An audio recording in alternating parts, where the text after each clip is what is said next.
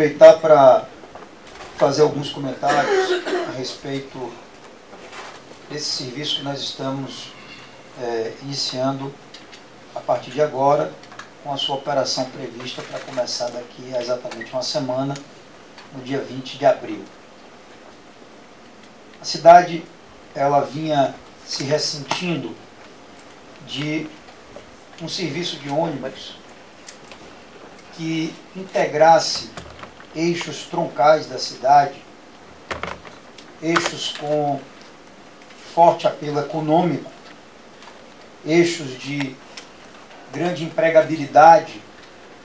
assim como também eixos de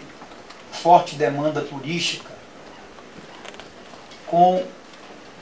um tipo de ônibus que oferecesse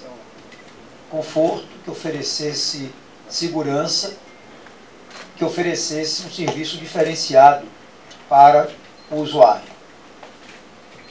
Este ônibus, o Connect Bus,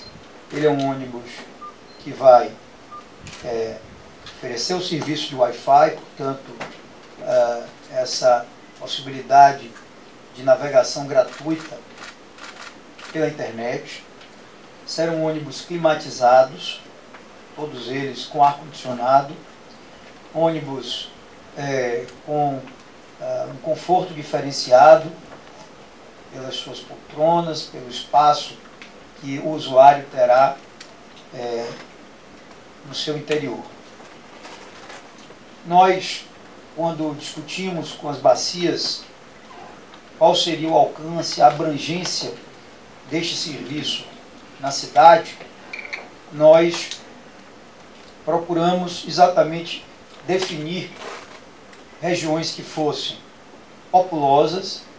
regiões que tivessem grande concentração populacional, regiões que tivessem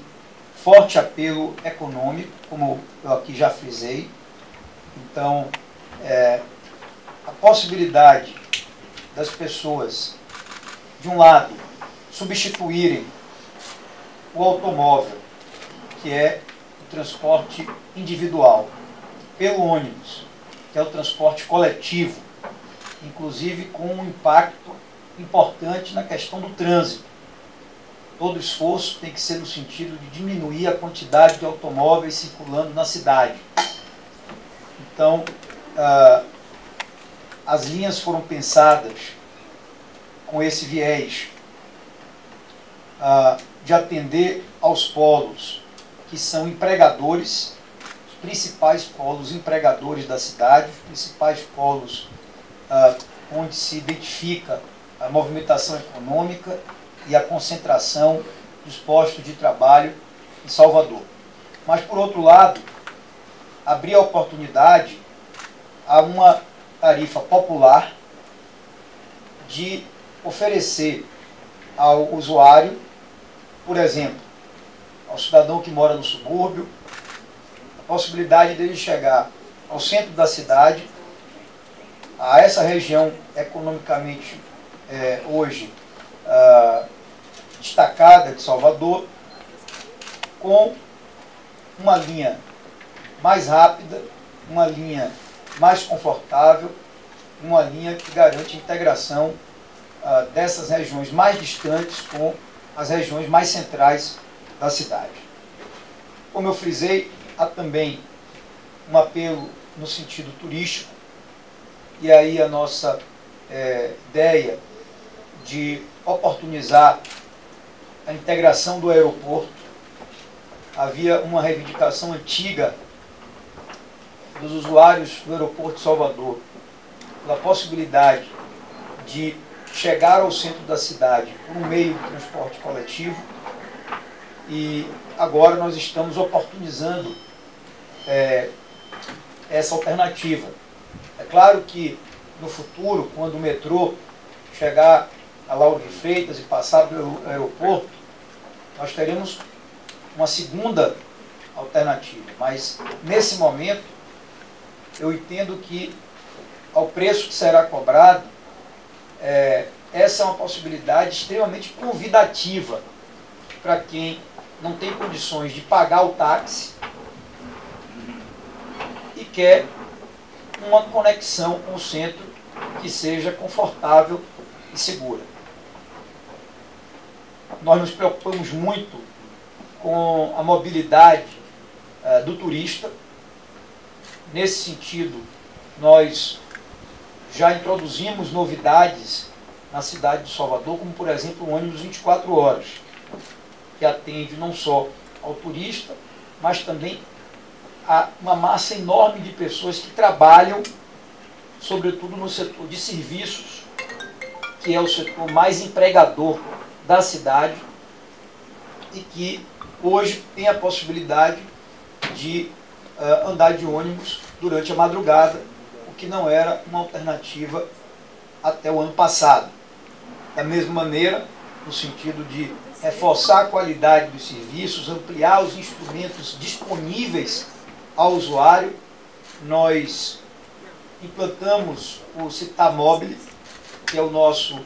é, aplicativo. Temos mais de 500 mil usuários,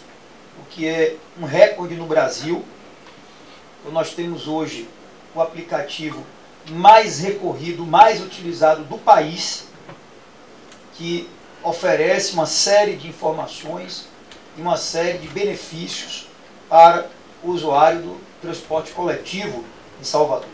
Não podemos esquecer a expressiva renovação da frota de ônibus regular da nossa cidade,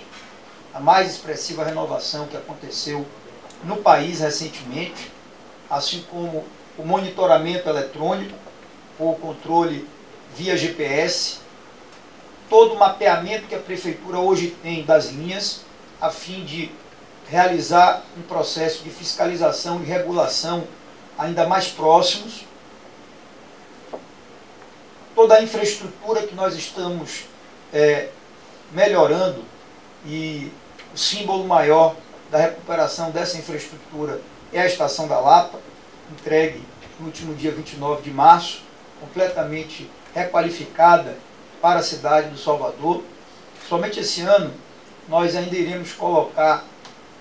400 novos abrigos em nossa cidade, nos mais diferentes bairros de Salvador. Então, vem se fazendo um esforço extraordinário e histórico para melhorar a qualidade do serviço de transporte público em nossa cidade. O bilhete único, o domingo é meia, a integração com o sistema de metrô, tudo isso dentro de uma lógica de não só prestigiar, valorizar o atual usuário do serviço de transporte coletivo, mas também de convidar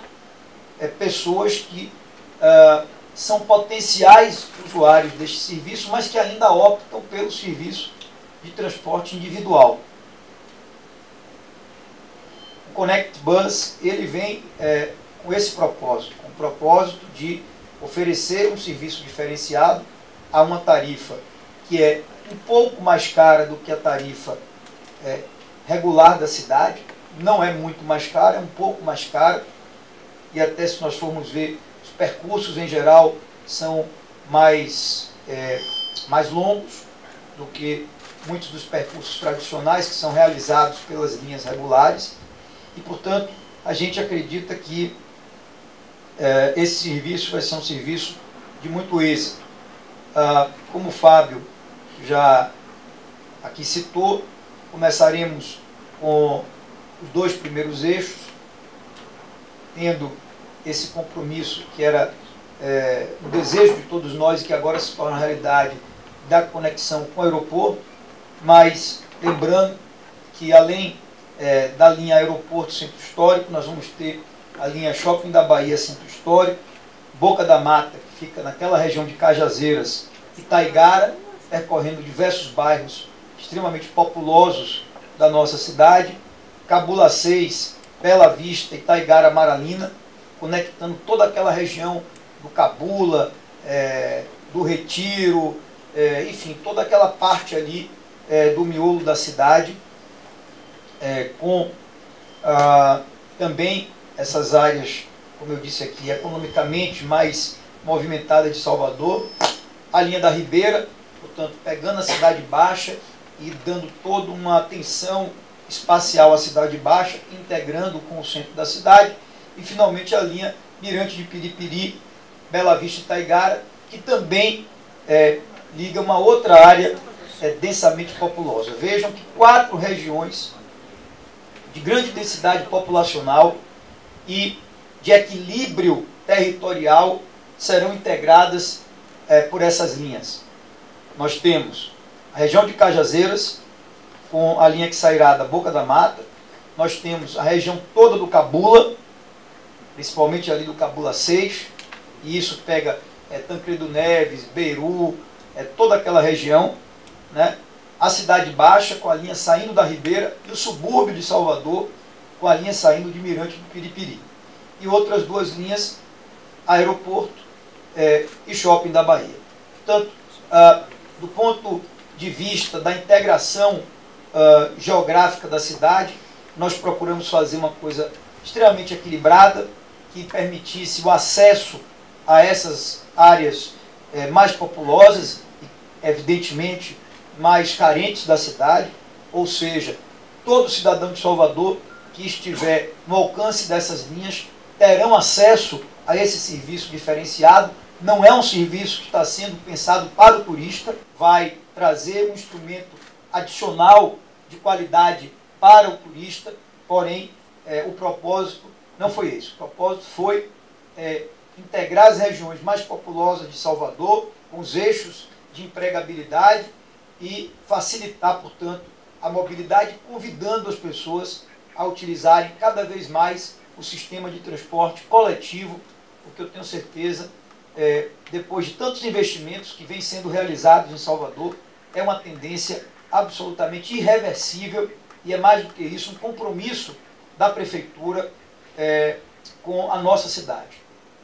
Desta maneira, eu agradeço a todos, agradeço a parceria é, dos consórcios, é, especialmente aqui da CSN, que vem acreditando e apostando na cidade com investimentos importantes, apesar das dificuldades econômicas do país, que alcança todos nós, alcança o sistema de transporte é, público, alcança a prefeitura, alcança o cidadão, todos nós acabamos alcançados pela crise econômica, mas se Deus quiser a gente vai virar essa página e em pouco tempo vamos ter uma retomada das esperanças e expectativas de crescimento do país e com isso é, o nosso sistema de transporte coletivo ele vai continuar neste processo de renovação, requalificação e investimento permanente.